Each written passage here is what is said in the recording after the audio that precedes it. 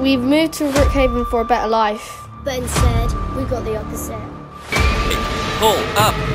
Pull up! Turns out we're never alone. Isla, look out! The money in my pocket, I'm loyal! Ah, we're starting a fridge! Isla, shut up.